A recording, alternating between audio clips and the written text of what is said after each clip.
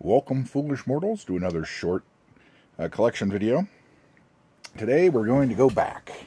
We're going to go back to medieval days and take a look at Kenner's Robin Hood Prince of Thieves figures. Now these were uh, made for the movie, of course. You couldn't get away from this film. It was a huge hit. Um, you couldn't get away from it soundtracked. Everything I do, I do for you.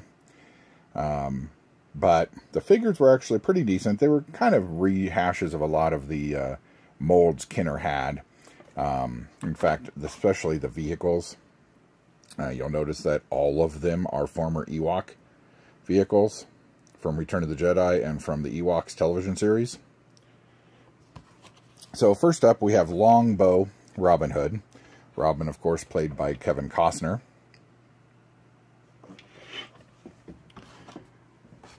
And then there was a crossbow Robin Hood as well.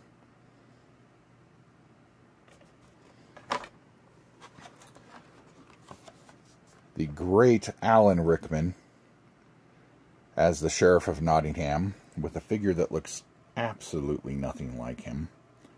I mean, his costume's wrong. It's just, it was Kenner. What do you want? But they're three and three quarter inch, and I love them. So, you know, it says Little John with his quarter staff. It says Will Scarlett, played by Christian Slater. And he comes with a crossbow as well, which, you know, he was more of a knife guy.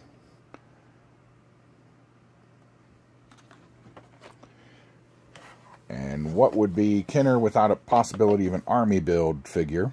This is the Dark Warrior. He comes with a pike and a nifty hat that he never wore. But this gave you the opportunity to army build bad guys for the Sheriff of Nottingham. Now, there were vehicles for this set, of which I believe I own none. Uh, there was a Sherwood Forest playset that is a repackage of the Ewok playset. A Battle Wagon, which is also a repackage of the Ewok Battle Wagon. They didn't even change the names, really. A net launcher and a Bolo bomber.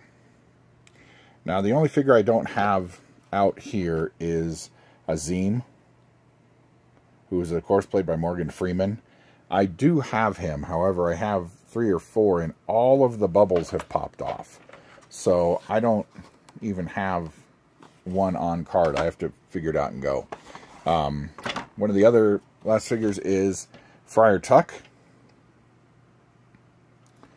Uh, he was a reuse of the um, Gamorrean Guard with a new head. And then when I was working at Toys R Us, we started getting Canadian packagings of these because they sold so well. Um, they started shipping these to us. Now, we only ended up getting Robins. Uh, we got whole cases of Robins like that. But it's all uh, bilingual packaging. The card design's a little different on the back just to support the different languages. But it was a great little series. Good movie. Um, if you haven't seen it, please do. It's a very, you know, Kevin Costner doesn't even try to pull off an accent. So, all right. Talk to you guys on the flip side.